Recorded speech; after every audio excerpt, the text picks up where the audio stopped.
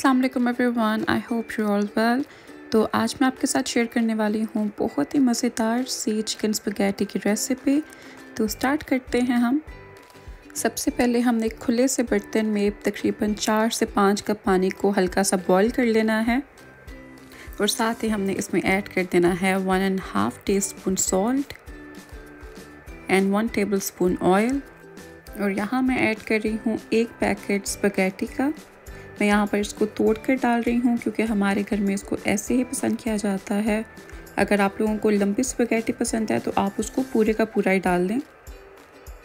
इसको हम तकरीबन 15 मिनट के लिए बॉईल कर लेंगे। स्पगैटी बॉईल हो चुकी है। अब हम इसको छान लेते हैं अच्छे से।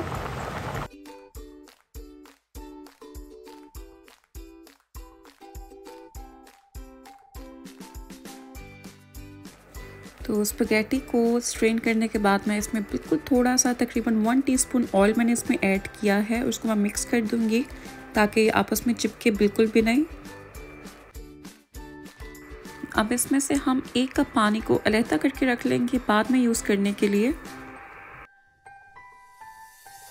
अब एक कढ़ाई में हमने फोर टेबल स्पून ऑयल को गर्म कर लेना है और साथ इसमें ऐड कर देना है one and half tablespoon crushed garlic और इसको तकरीबन एक से डेढ़ मिनट के लिए हमने फ्राई करना है।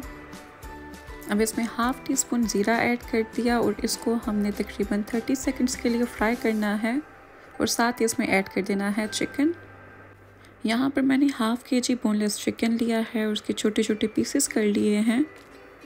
इसको हमने तब तक कुक करना है जब तक इसका कलर चेंज नहीं हो जाता।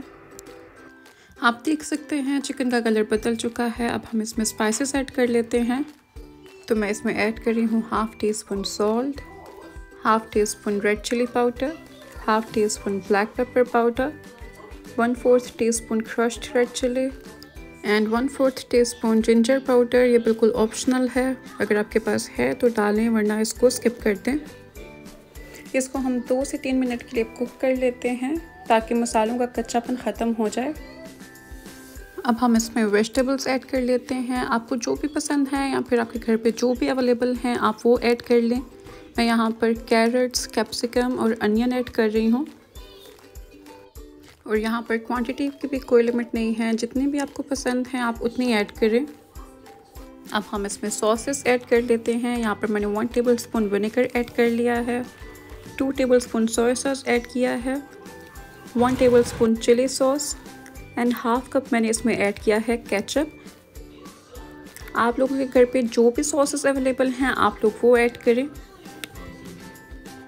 अब हम इसको अच्छे से कर लेते हैं मिक्स और इसको तकरीबन दो से तीन मिनट के लिए हमने कुक कर लेना है।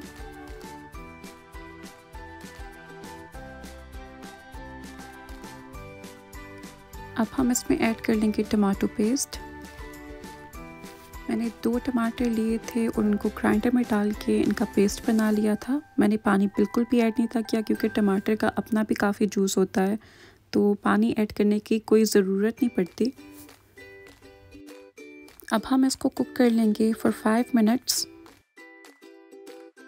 पाँच मिनट गुजर चुके हैं, अब हम इसमें बॉईल किए हुए स्पगैटी को ऐड कर लेंगे और इसको मिक्स कर लेंगे अच्छे से। जो हमने बॉयल पास्ते का पानी रखा था, कप में निकाल कर उसको ऐड करके हम इसको मिक्स कर लेंगे।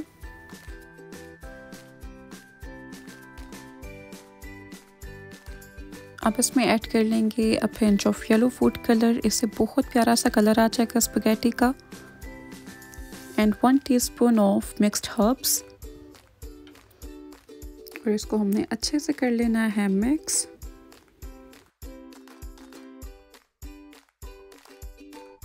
अब हमने इसके ऊपर थोड़ा सा स्प्रिंग अनियन डालकर इसको कवर कर देना है for five to seven minutes और फ्लेम हमने बिल्कुल लो रखना है।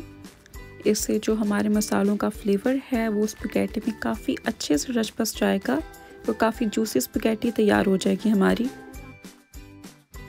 तकरीबन सात से आठ मिनट के बाद मैंने इसको अनकवर कर लिया है। हमारी स्पगैटी तैयार है। मैं यहाँ पर आपको मिक्स करके भी दिखाती हूँ कितनी जूसी और कितनी मज़ेदार स्पेगेटी तैयार हुई है। आप लोग इस रेसिपी को ज़रूर ट्राई कीजिएगा और मुझे फीडबैक ज़रूर दीजिएगा कि आपको आज की रेसिपी कैसी लगी। And please subscribe to my channel and like this video thank you so much अल्लाह हाफिज़।